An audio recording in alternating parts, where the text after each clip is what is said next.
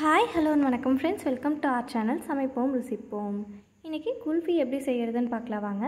வீட்டில் இருக்க பொருட்களை வச்சு ரெண்டு வெரைட்டியில் நான் குல்ஃபி செஞ்சு பார்த்தேங்க. ரொம்பவே சூப்பராக வந்துருந்துச்சு.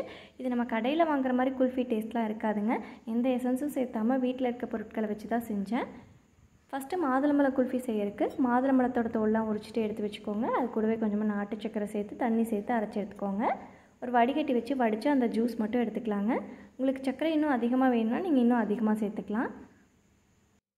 நம்ம அரைச்சி எடுத்து வச்சுருந்த இந்த ஜூஸை வந்துட்டு குல்ஃபி மோல்டில் ஊற்றிட்டு ஃப்ரீஸ் பண்ணி எடுத்துக்கணுங்க. பன்னெண்டு மணி நேரம் ஃப்ரீசரில் வச்சு எடுத்துக்கணும். இந்த மாதிரி குல்ஃபி மோல்டு இல்லாதவங்க டம்ளரில் ஊற்றிக்கலாங்க டம்ளரில் ஊற்றிட்டு இந்த மாதிரி வேறு ரேப்பர்லாம் என்கிட்ட எதுவும் இல்லைங்க. அதனால் நார்மல் கவரை தான் இந்த மாதிரி கட் பண்ணி எடுத்துகிட்டு ரப்பர் பேண்ட் போட்டு வச்சுக்கிட்டேன். அதுவும் ரொம்பவே சூப்பராக வந்துருந்துச்சு. மேலே இந்த மாதிரி கத்தி வச்சு லைட்டாக ஒரு கட் பண்ணி விட்டுட்டு ஸ்டிக்கை உள்ளே வச்சிடலாங்க அடுத்து ரஸ்க்கை வச்சு தாங்க இன்னொரு குல்ஃபி செஞ்சுருந்தேன். நான் இன்றைக்கி அஞ்சு ரஸ்க் எடுத்திருந்தேன். இதில் வந்து ஏலக்காய் ஃப்ளேவர் இருக்குங்க. அதனால் நான் ஏலக்காய் எதுவுமே சேர்த்தலை. அப்படி ஏலக்காய் ஃப்ளேவர் இல்லாத பிளெயின் ரஸ்க் எடுக்கிறீங்கன்னா நீங்கள் ஒரு நாலு டு அஞ்சு ஏலக்காவை அரைக்கும் போது சேர்த்துக்கோங்க. அது கூடவே அஞ்சு டு ஆறு ஸ்பூன் அளவுக்கு நாட்டு சக்கரை சேர்த்துட்டு இந்த மாதிரி பவுடராக அரைச்சி எடுத்துக்கோங்க. ஸ்வீட்னஸ் வந்து உங்கள் டேஸ்ட்டுக்கு ஏற்ற மாதிரி சேர்த்துக்கோங்க. நீங்கள் இனிப்பு அதிகமாக சேர்த்துப்பீங்கன்னா இன்னும் கொஞ்சம் அதிகமாகவே நாட்டு சக்கரை சேர்த்துக்கோங்க. சேர்த்துட்டு இந்த மாதிரி சின்ன டம்ளரில் ஒரு டம்ளர் பால் ஊற்றி இந்த மாதிரி பேஸ்ட் மாதிரி அரைச்சி எடுத்துக்கோங்க. அடுத்து அதே டம்ளர்லேயே ரெண்டு டம்ளர் பால் சேர்த்துக்கிறேன். பால் வந்து நல்லா கொதித்து வரணுங்க. காய்ச்சின பால் தான் நான் எடுத்திருந்தேன். பாருங்கள் காய்ச்சின பாலே இந்த மாதிரி நல்லா கொதித்து வரணும்.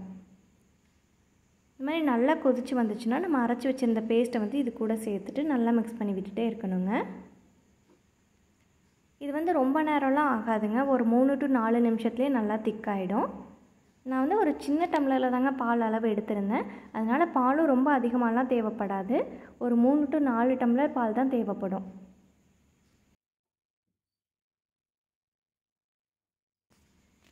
பாருங்கள் இந்த மாதிரி நல்லா மிக்ஸ் பண்ணி விட்டுட்டே இருக்கணும். இல்லைன்னா அடி பிடிச்சிரும். ஒரு மூணு டு நாலு நிமிஷத்துலேயே இந்த மாதிரி நல்லாவே திக்காயிடுங்க பாருங்கள் இந்த மாதிரி நல்லா திக்காயிடணும் இந்த மாதிரி நல்லா திக்கானதுக்கப்புறமா அடுப்பு ஆஃப் பண்ணிவிட்டு ஆற வச்சிடலாங்க. பாருங்கள் எடுத்து ஊற்றுனாவே நமக்கு தெரியும் அந்த திக்கான கன்சிஸ்டன்சி இந்த மாதிரி நல்லா திக்கானதுக்கப்புறமா அடுப்பை ஆஃப் பண்ணிவிட்டு இதை நல்லா ஆற வச்சிடலாம். பாருங்கள் நல்லா ஆற வச்சு எடுத்துக்கிட்டேன். எவ்வளோ திக்காயிருச்சுன்னு பாருங்கள் இது நல்லா ஆறுனதுக்கப்புறமா திருப்பியும் இதை வந்து மிக்ஸி ஜாருக்கு மாற்றிட்டு அரைச்சி எடுத்துக்கலாங்க.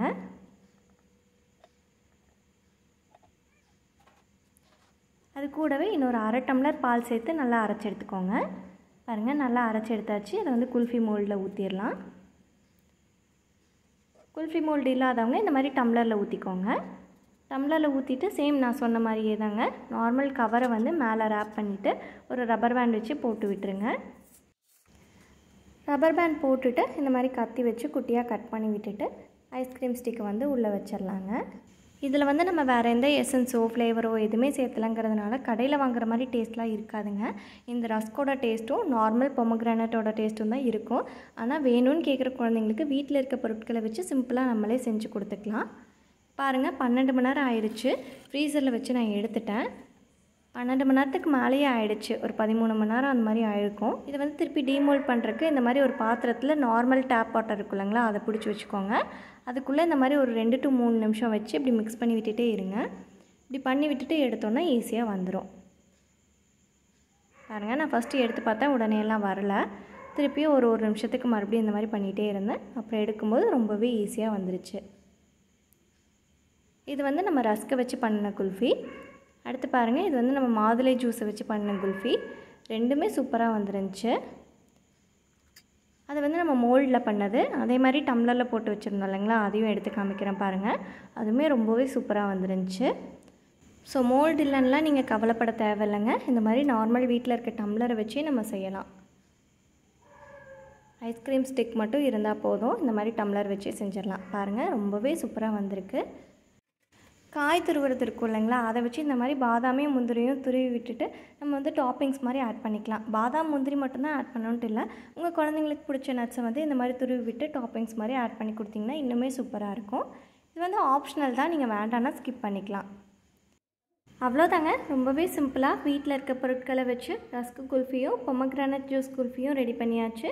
நீங்களும் கண்டிப்பாக செஞ்சு பாருங்கள் செஞ்சு பார்த்துட்டு டேஸ்ட் எப்படி இருந்துச்சுன்னு கமெண்ட்டில் சொல்லுங்கள் உங்களுக்கு இந்த வீடியோ பிடிச்சிருந்துச்சுன்னா என்னோடய சேனலை சப்ஸ்கிரைப் பண்ணிக்கோங்க. தேங்க்யூ